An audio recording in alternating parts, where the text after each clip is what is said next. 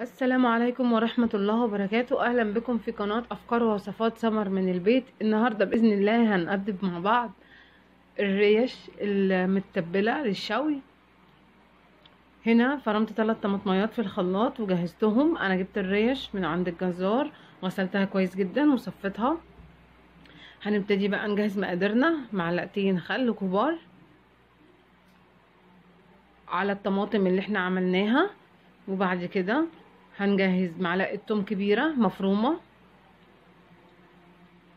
والتوابل بتاعتنا النهارده آه زعتر وفلفل وملح والتوابل اللي أنا كنت عاملاها معاكم ب 17 نوع اللي حابب يرجع لها في القناة يرجع يشوفها.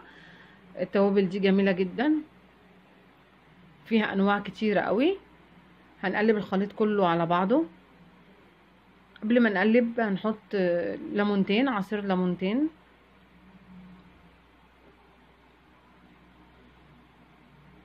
الخلطة دي جميلة جدا. وبصراحة أنا يعني بستخدمها كذا مرة مش مرة واحدة بس. يعني أه بتكلم إن مثلا بن بنحط فيها اللحمة والتتبيلة وبعد كده بن بنشوي والتتبيلة طبعا ما برمهاش بحط فيها اللحمة تاني أو أو فراخ لو أنا حابة يعني مرتين ثلاثة بس طبعا أنا عاملة لكل نوع تتبيلة غير التاني. يعني الفراخ تتبيلة واللحمة تتبيلة. هنزل بإذن الله فيديو تاني بتتبيلة الفراخ برضو لأن برضو دي بتضاف لها حاجات ودي بتضاف لها حاجات تانية. كده ابتدي أحط اللحمة بتاعتي على الخليط اللي إحنا عملناه. نظبط طبعا الملح حسب آه حسب راحتك. شوفي أنت بتحبي الملح إيه. بس وبعد كده نقلب بقى الخليط كله كويس جدا نخليه يتشرب. نخلي اللحمة تتشرب من الخليط. أقل حاجة يتحط في التلاجة لمدة ساعتين. يعني دي أقل حاجة لو حابين بقى تعملوه من الصبح وترجعوا تشووا مثلا على آخر النهار كده أو العكس من بالليل وتشووا الظهر يبقى هتقعد فترة أطول وتبقى أحسن. كده أنا جهزت الشواية بتاعتي واللحمة قعدت فترة طويلة جدا في التلاجة تقريبا ساعتين ساعتين ونص. جهزت الشواية وحطيت فيها مية. أنا شوايتي لازم تحط فيها مية من من تحت وأبتدي أسخنها وهرص بقى اللحمة فوق كده على الشواية. ظبطتها على ثلاثة يعني في الوسط. وهبتدي أرص اللحمة وأستنى بقى عليها كل خمس دقايق أو كل يعني نشوف كده بعينينا تتقلب. ده شكلها وهي لسه بتتشوي. أنا كده قلبت أول وش قلبتها على الناحية التانية مش لازم تكون محروقة يعني. بصوا بقى أنا بيبقى معايا الخلطة اللي أنا تبلت بيها مش مش بتخلى عنها ببتدي فوق اللحمة. أحط عليها بعض الخلطة بتاعتنا برضو بتتشرب منها تاني وبتدي ريحة وطعم جميل جدا أكتر يعني بزود أنا كده من كفاءتها.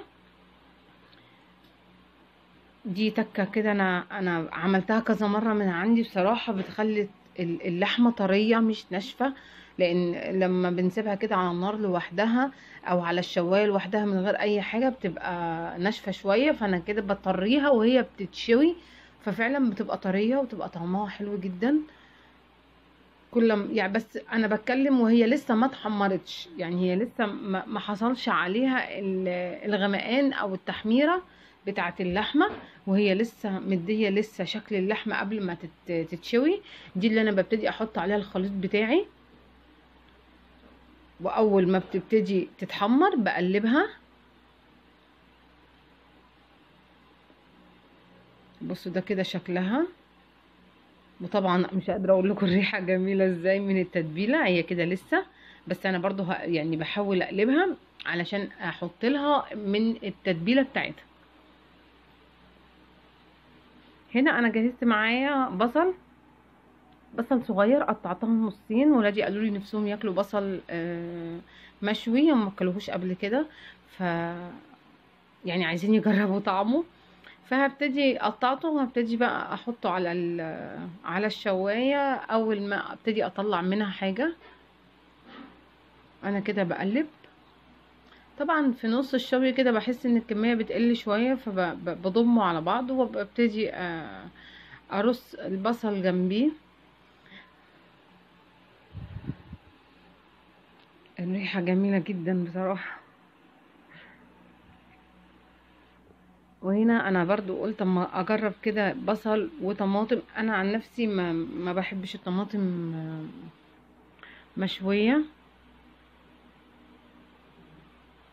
هنا بصوا أنا جهزت طبق وفيه آه، silver أو foil هنا برضو ابتديت أحط البصل بقى حوالين اللحمة واللي هيطلع؟ هبتدي احطه في ال silver واقفل عليه. ده الشكل كده بصوا شكل اللحمة شكلها جميل.